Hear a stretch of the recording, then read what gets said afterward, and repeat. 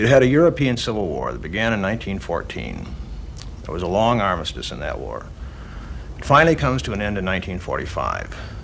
In the process of coming to the end, what happens is that sweeping into Europe from the outside are the Russians and the Americans.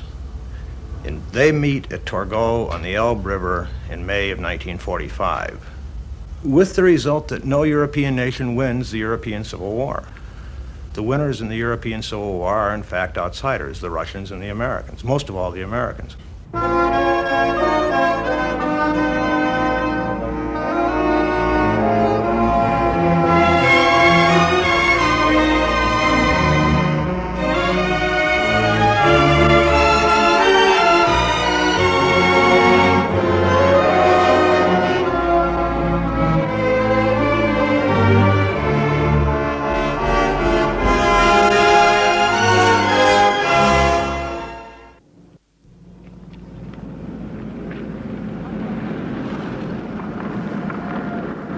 Germans had tried to conquer Europe. It had taken six years to defeat them. They were peaceful now. Was there any way of keeping them that way, apart from dismembering Germany itself? Well, the whole idea was that you would not split up Germany. Had, the idea had been kicked around in the West, especially by the American Secretary of the Treasury, Henry Morgenthau, that Germany ought to be divided. Uh, Germany, of course, had been a united nation only since 1870.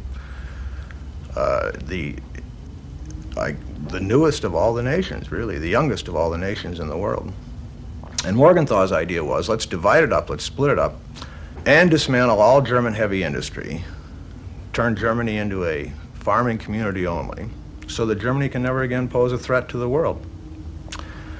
Roosevelt had originally endorsed that idea, and so had Churchill. But by late 1943, they decided that this would be economically a disaster for Europe, that if Europe were to recover from the war, she had to have the productivity of Germany, and most especially of the Ruhr.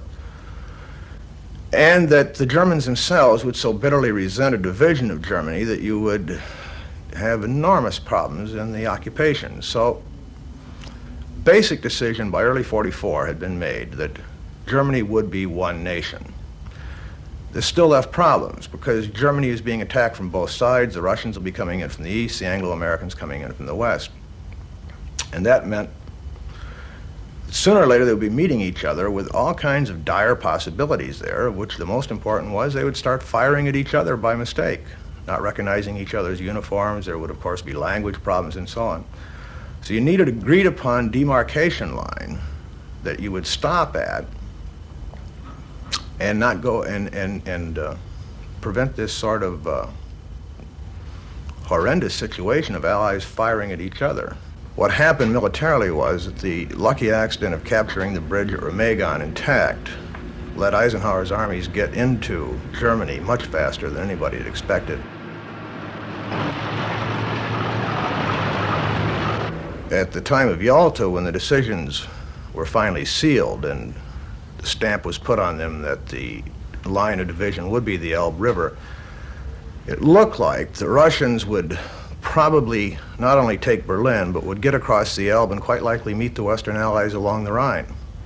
The Western Allies at that time, of course, were just recovering from the Battle of the Bulge, and things looked pretty bad for them. But the recovery from the Bulge was quite a bit quicker than anyone expected. And then it was followed up by the capture of the bridge at Remagen, which let Eisenhower, in effect, get across the Rhine for free. Up to that time, they had thought that getting across the Rhine was going to be almost as big a job as getting across the English Channel in Operation Overlord. In April, the armies met up on the Elbe River, as planned. Of course, there was a great celebration at Torgau where they met, uh, dancing and uh, embracing, exchanging of gifts. Uh, very happy time. The United States, of course, during the war had been propagandized into seeing Russia as a democracy, a land of freedom lovers, with essentially broad social aims about the same as those of the West, which seemed to uh, make sense since they were clearly an enemy of the Nazis and we were an enemy of the Nazis. Thus, it appeared we had a great deal in common. Now, the leaders were, especially the British leaders, and most especially, of course, Churchill, never agreed with this view. But this was, in general, the view of, of most of the, uh, of the ordinary soldiers and the citizenry of the United States. There was no intention during the war itself of dividing Germany up between East and West. The intention at the time was simply to provide for an orderly administration of the occupied areas. Remember, the first big act after the war is that everybody lives up to the wartime agreements about zonal boundaries, and the thing that stands out here is that the Russians do let the West come into Berlin, which is, what, 80 miles within their zone. They didn't have to do it. They could have acted in Berlin as they acted in Poland. They could have just said, to hell with you. We're not letting you in. We're not going to live up to the agreements that we signed at Yalta on this. We're going to hold on to Berlin. After all, we captured it. We paid the cost. 100,000 Russians died. But Stalin was uh, still hoping for an American loan. He desperately needed to get reparations from Germany, especially from the Ruhr. And if he were going to get these things, he was going to have to cooperate with the West. He recognized this. In areas in which he felt it was possible to cooperate with the West without making too many sacrifices in, in uh, Russian security, he did so, and I would point to Berlin as the chief example of this. In the case of Poland, he simply couldn't allow the Polish colonels, the Catholic Church, the Polish landlords to come back and take control of Poland. Poland, as he pointed out time and again, had three times in the past generation been a gateway for an invasion of Russia. Berlin, he could afford to make concessions on, and he did. So he, he, Stalin was clearly eager to get along with the West. He was not a revolutionary. He wanted to conserve what had been gained by the Bolsheviks in the Russian Revolution. He wanted to conserve the Russian state. He wanted security around Russia's borders. But he was not a man who pushed for a worldwide revolution. There are all kinds of examples of this. Greece, for example, the, Greece, the Greek Civil War was, waged, was being waged at the time, and the British were very deeply involved. British troops fighting against the communists and, and radicals generally in Greece on the side of the monarchy. Stalin quite clearly lived up to the wartime agreements with Churchill and refused to support the Greek communists. The Americans were asking for an awful lot. They wanted not only to control the areas that their, that their armies had conquered, but they also wanted to have a major say, or at least an influence in, the areas that the Red Army had conquered. Now, in 1943, when Italy surrendered, the Russians wanted to be a part of the occupation of Italy. Italy, after all, had been one of the Axis powers that had attacked the Soviet Union. But the Americans and the British systematically excluded the Russians from any say in the occupation of Italy. Stalin originally protested against this. But eventually he said, aha, I see. The precedent has been set. The principle is clear. Whoever occupies a country also imposes upon it his own social system. And Stalin was happy enough to accept that precedent. The Americans, however, wanted, were not willing to go along with that when, it, when the shoe was on the other foot. So the Americans were demanding a major say in Poland, while being totally unwilling to give the Russians any say in the areas that their armies had conquered. From the Russian point of view, if the West was going to go ahead and exclude them from all areas in which Western armies were in control, they had the perfect right to exclude the West from any say in the areas where the Red Army was in control. And they systematically followed this principle for the remainder of the war and into the post-war period, and indeed up to the present time. Russian suffering during the war had been appalling. Their shattered economy had to be rebuilt. To do it, Stalin had to choose between self-help, turning to his allies, or stripping the conquered lands? Well, he, he could, he had, yes, he had those three alternatives. He could either do it by forced savings on the part of the Russian citizenry, who had, of course, been through hell for the past four years.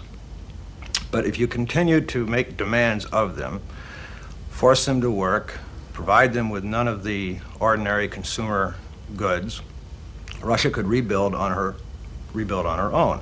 This was the least desirable choice, but it was a choice. A second choice that, that uh, worked hand in glove with it was strip all the areas that you have conquered. Just move out everything that's movable and bring it back to the Soviet Union and restore the Soviet Union that way.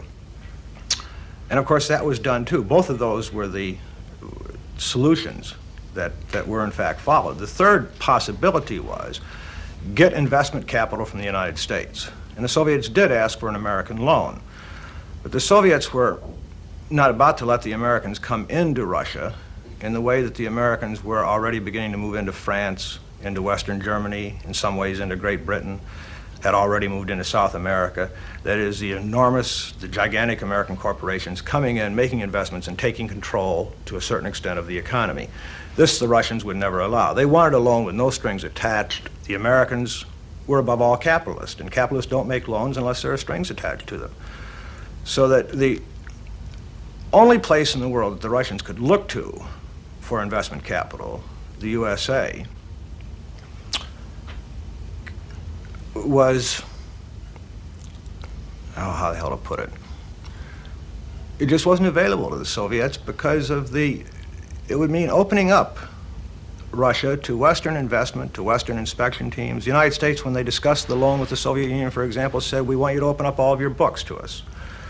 Well, again, it didn't, it, it, it, didn't matter if it was a czarist Russia or a communist Russia. The Russians are suspicious of the West, and with very good reason. I, I don't think there was ever a ghost of a chance of the Russians and Americans creating the kind of world that they like to talk about during the war, an Atlantic Charter kind of world, a United Nations kind of world in which the victors continue to cooperate as they did during the war, because the only reason they cooperated during the war was that they were all deathly afraid of Hitler with very good reason.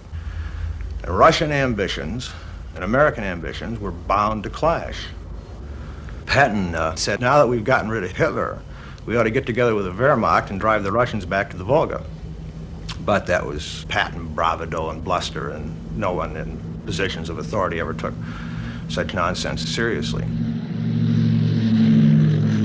And eventually, what you get out of the end of World War II is that Russia and America confront each other around the world. And then you have to sort out well, what belongs to who, who gets what out of the war. Lines have to be drawn. This is what the Truman Doctrine really means, the doctrine of containment that, that eventually came in 1947. Uh, this is what Churchill means by the Iron Curtain, much as he hated it and as much as many people regret the imposition of the Iron Curtain. In fact, the, the Iron Curtain line in Europe turned out to be, uh, rather like the division of Germany, the best thing. People knew who belonged to what uh, rather what belonged to who. So that one of the unexpected results is that you have had a much better, without having had a formal peace conference, you get a better settlement in Europe after World War II than you do after World War I. World War I, they all got down on their hands and knees on these gigantic maps and drew out the lines of where the new countries would be with the Austro-Hungarian Empire broken up and the German Empire broken up and so on. And it looked like a very smooth and very intelligent settlement. In fact, of course, nothing was settled, as we learned in 1939, if not earlier. World War II, you get nothing like that kind of a settlement at the end of the war, so that willy-nilly things fall into place. And we have now had the longest peace that Europe has enjoyed in modern times.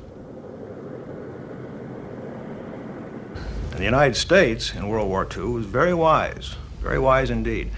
What we did was we paid the Europeans to do our fighting for us. This is, seems to me, the only way that one can look at Lend-Lease. Lend-Lease is a program designed to make it possible for Russia and Britain to carry on the struggle against Germany, to maintain a balance of power in Europe, that allows the United States to almost in effect stay out of the war and yet become the great gainer from it. We get much more out of the war than anyone else. There's a paradox here that it, very quickly after the war was over, Americans began to take the attitude that, aha, here it is again. We got, we got fooled once more, as we did in World War I. We made this enormous effort. We beat the Germans. We beat the Japanese. And who wins? The Russians win. The Russians get East Europe out of it. We were suckers. This is very widely felt in the United States. It was a strange attitude to hold when you look with whatever objectivity that one can muster about such things, is what the real results of the war were. The United States came out of the war with, first of all, not simply an intact physical plant, but a vastly expanded one, two, perhaps even three times as big as the industrial plant of 1939. In all the world, only the United States had excess investment capital. A lot of fortunes were made in the United States during World War II. A lot of people got very rich out of the war. Manpower losses were almost insignificant. Compared to the other combatants, insignificant. Uh, only slightly more than a quarter of a million Americans died during the war. America was the least mobilized of all the nations, of all the major combatants in World War II. Altogether, we had an Army and Navy and Air Force of 12 million men out of a total population of 170 million. And of those 12 million, probably less than 6 million ever got overseas. Within the United States, uh, first and foremost, the, the problem of the Depression was solved by World War II. Now, of course, economists in the United States and elsewhere, the British economists were just as guilty of this, felt during the war that the big problem after the war was going to be a return to Depression conditions. And they agonized over that problem. How, what, what's going to happen when we demobilize these armies and all of a sudden we're going to have 10 and 12 million unemployed again? What they failed to recognize was that money was being made hand over fist in the United States during the war, and there was nothing to spend that money on. So it was being saved, and you had this enormous pent up demand for consumer goods that only American factories could satisfy, not only within the United States, but for Europe and Asia as well.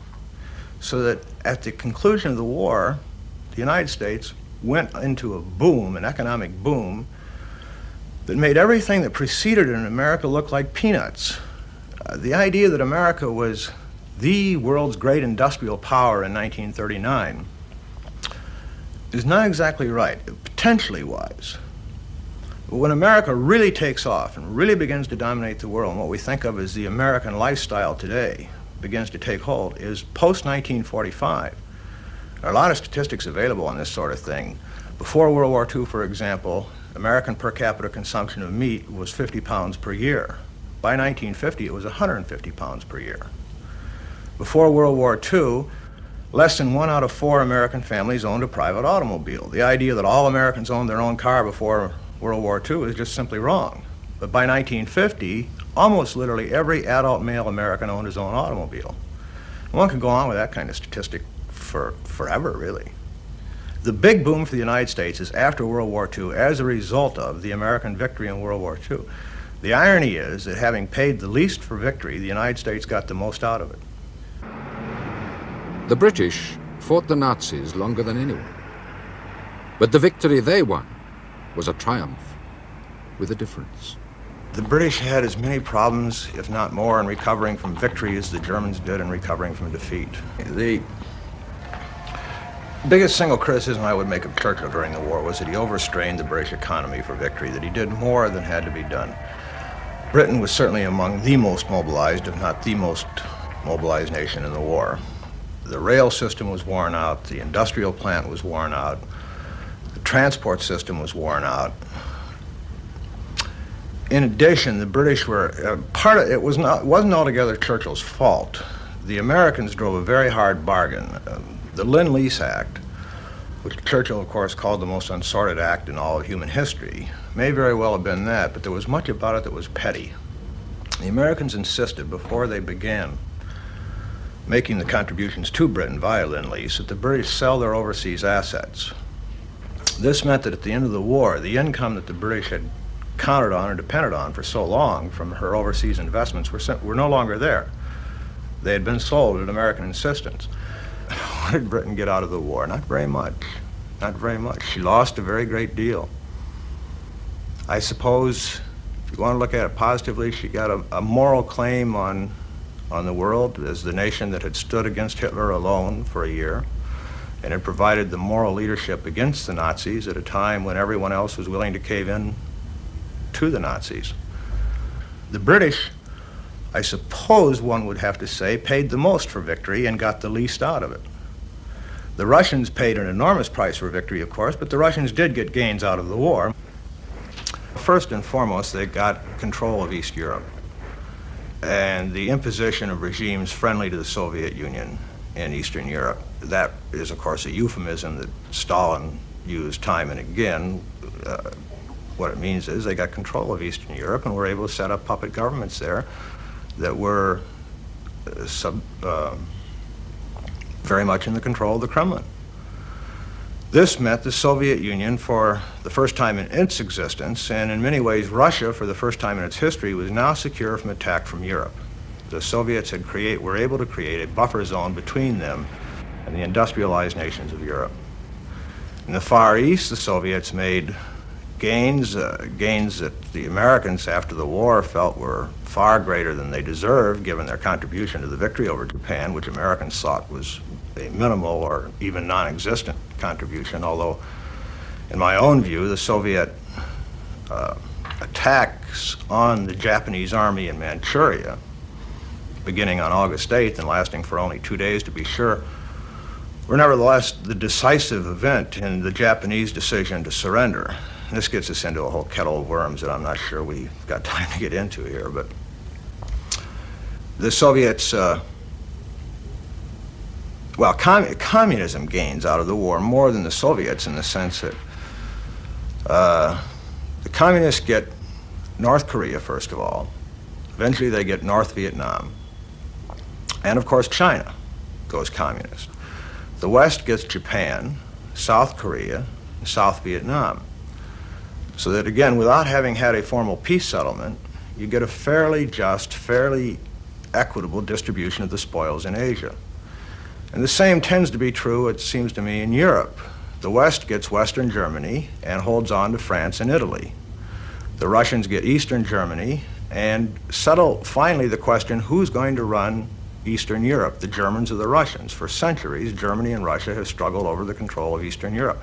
That question was settled by the Red Army in 1945 when it overran the area and made it perfectly clear to everyone that it, to hell with world moral, moral views or world public opinion or anything else, they were going to hold on to Eastern Europe, period. And of course they have, as we all know.